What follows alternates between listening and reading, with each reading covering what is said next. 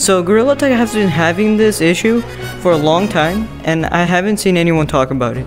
And the reason is, it really doesn't affect whoever already has Gorilla Tag. And this problem is, tutorial is gone. You get the best view of this from the top of this tree. And if you look over to tutorial, there's nothing there. It's just gone. And it's been like that for many updates.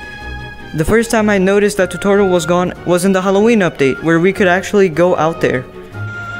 Which I can't, because you need, you need a boost to go Wait, I'm making it. I did it. I did it. Look, like this.